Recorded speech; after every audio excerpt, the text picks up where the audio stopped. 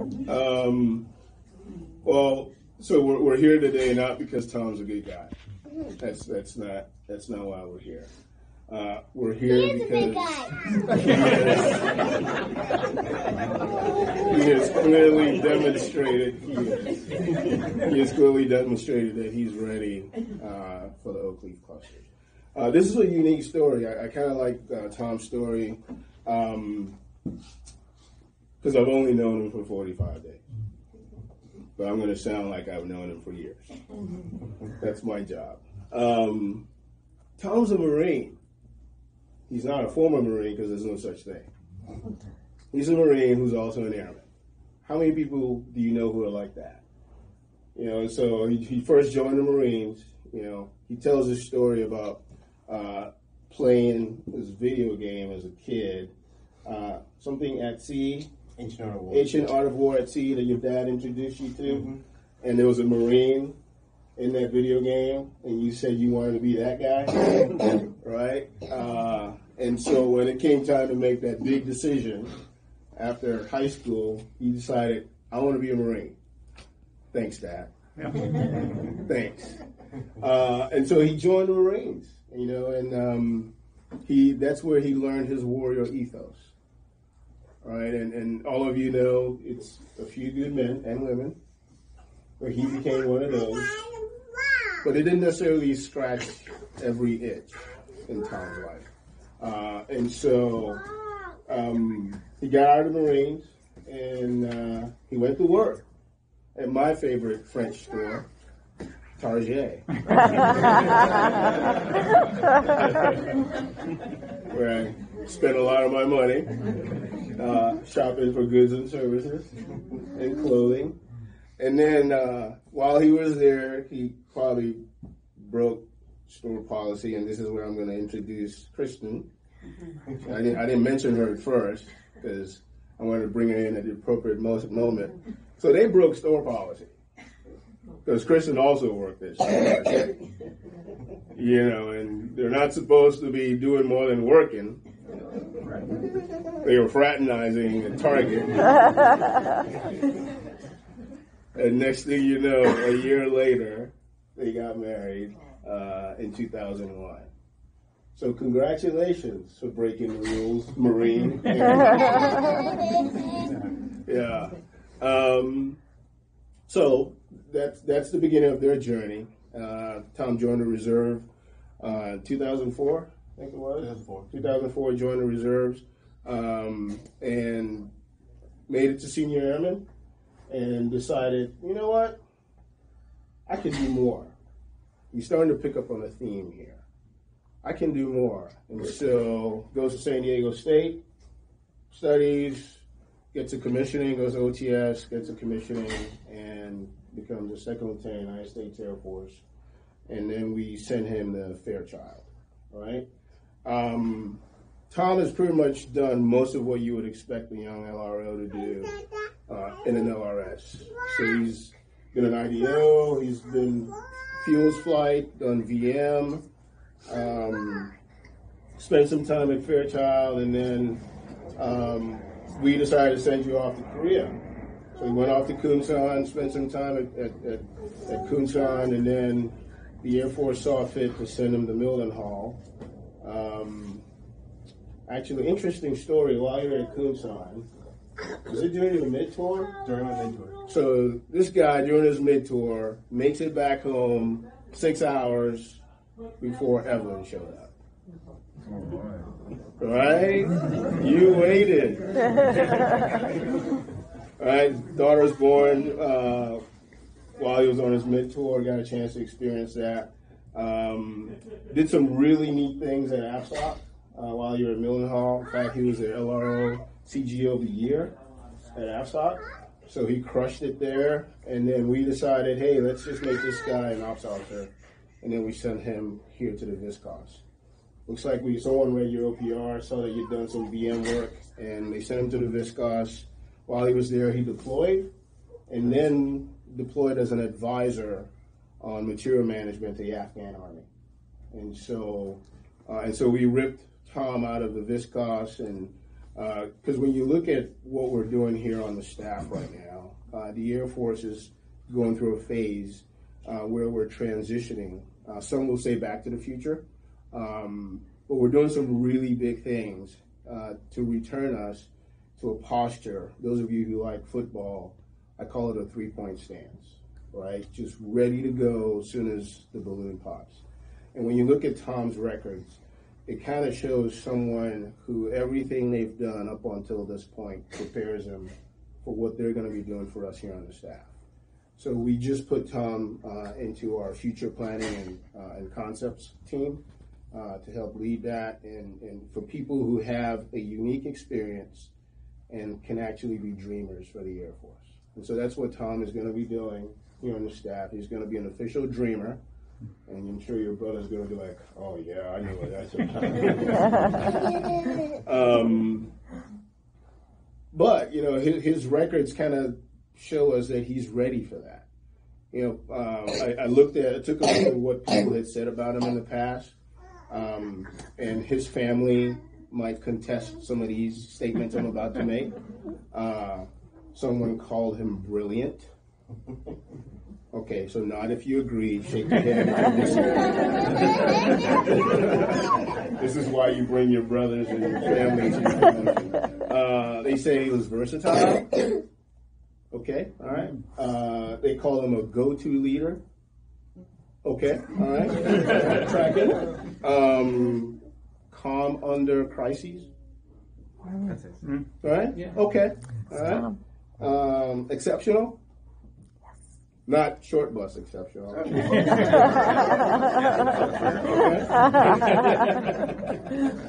uh, always ready to work.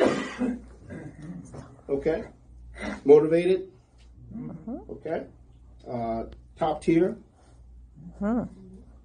I didn't make any of that up. All that's in his records. These are what people outside of his family said about him. And from what I just took a poll, a straw man poll, they all agreed. and and so when you hear that, when you hear those words, uh, when you see those written, um, as as a member of the company, I will say that is what we consider proven opportunity and readiness to serve at the next higher grade, because that's what we expect of our field grade officers. Now, I will confess, my favorite rank was captain. That was my favorite rank. Um, why? Because I knew enough to be dangerous. I had top cover, so my leadership kind of had my back. And I said a whole lot. Some of the things without tact. And then came this rank of field grade officer where I was expected to think twice, to listen longer, uh, and to be really tactful about what came out of my mouth. And so we're going to schedule a, a, quick lobotomy for Tom uh, sometime in the near future where he gets to get those things so he learns how to be a field grade officer in the United States Air Force. Um, and the expectation changes overnight. I mean, he's going to walk out of here and, and wave goodbye to you guys and come back in. And between now and Friday, he's like, why do they treat me so differently? It's the same dude. Nope now you have Oak Leaf clusters, and we will treat you differently um, because you're ready for it. Because you're ready for it. So, why don't we go ahead and do this and make him a major United States Air Force? Yes. All right. Publish the orders. Attention to orders. The President of the United States, acting upon the recommendation of the Secretary of the Air Force, has placed special trust and confidence in the patriotism, integrity, and abilities of Captain Thomas Wickham in view of these special qualities and his demonstrated potential to serve in the higher grade, Captain Wickham is promoted to the grade of Major, United States Air Force, effective the first day of October 2019 by order of the Secretary, Secretary of the Air Force. Mr. Wickham and Mrs. Wickham, you please forward and come on the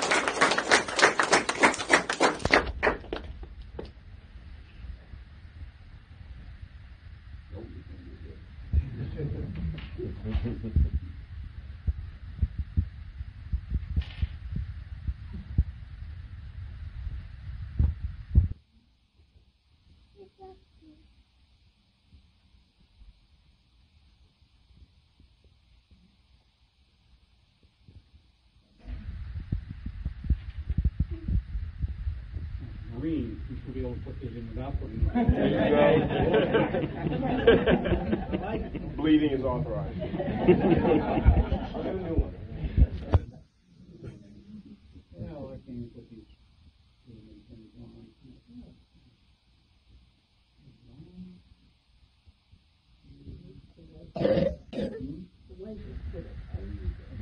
Okay, there you go. Congratulations, Tom. Yes.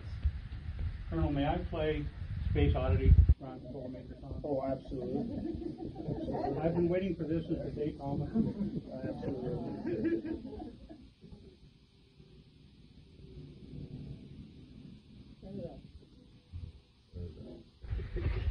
That's classic.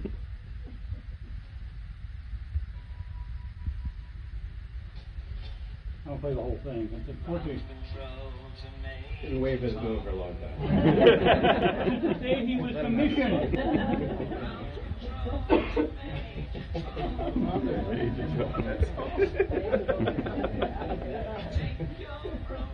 I'll have to play the whole thing, but.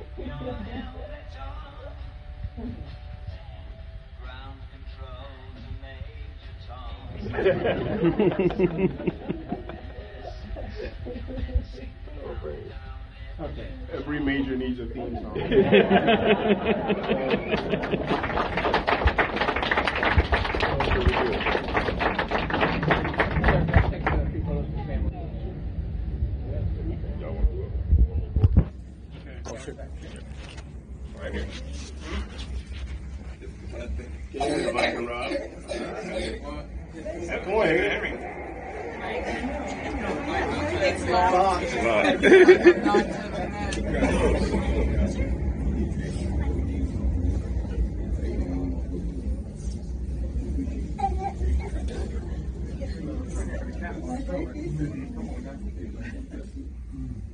One, two, three.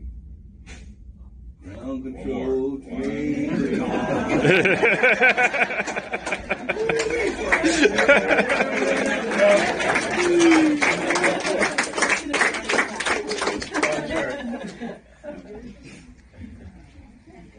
Congratulations. Thank you. Colonel, I gotta say, when I was. I had to stop you yet. Thank you. It's there, you can tell who's saluted or not. have to edit Because if you, if you get the scrambled eggs, Yep. commanders and above, anything, you're the E four seniors, so you have to wait, they salute. Or, That's awesome. or you don't salute at all. That's just me. Okay. Colonel Doka will now administer the oath of office. I state your full name. I, Thomas Wickham, Do solemnly swear do solemnly swear that I will support and defend I will support and defend the Constitution of the United States of America the Constitution of the United States of America against all enemies, against all enemies, foreign and domestic, foreign and domestic, that I will bear true faith that I will bear true faith and allegiance to the same, and allegiance to the same, that I will take this obligation freely that I will take this obligation freely without any mental reservation without any mental reservation or purpose of evasion, or purpose of evasion, that I will well and faithfully discharge that I will well and faithfully discharge the duties of the office the duties of the office upon which I'm about to enter. upon which I am about to enter. So help me God. So help me God. All right.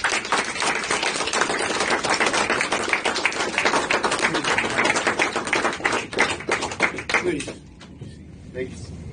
So I wrote it all down, you know, just to make sure I don't forget anything. Uh, thank you, Reverend, for coming to this important milestone in my military career. Uh, most of all, thank you to my family for making your way to the great state of Virginia for my third promotion ceremony as an Air Force officer. My last promotion ceremony was in Kunsan, so obviously no family were able to travel there.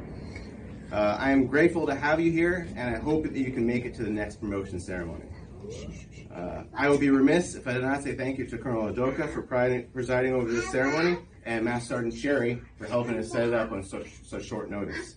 I do really appreciate it. To my coworkers in A4R, I am glad that you knew me at least for a short time as a captain.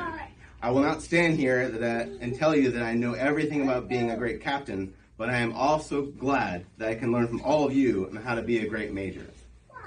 To me, I do not have a grand leadership philosophy, but it is rooted in my background as a young infantryman. I have two basic concepts that I try to live by. One is that our work should motivate us, and the other is that we should leave that work better than we found it. As a leader, I hope to help with both both aspects. Thanks again. All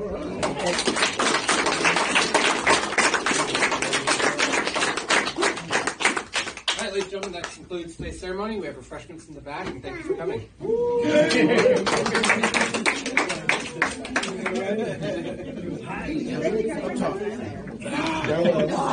Too slow.